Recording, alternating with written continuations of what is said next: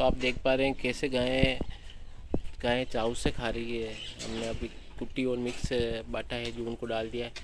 अब ये चाव से खा रही है। अब ये दो घंटे खाएगी और दो घंटे के बाद जस्ट मैं इसको निकाल लूँगा। तो इनको भी पता है कि हमें जल्दी जल्दी खाना है, वरना रह गया तो रह गया तो इनका, इनकी खुल्ली को खाली कर देंगे। तो ये भी जल्दी जल्दी खा रही है और बढ़िया चाव से खा रही है इसको बाटे को। और मिक्स कुटी डाल रखी है हमने।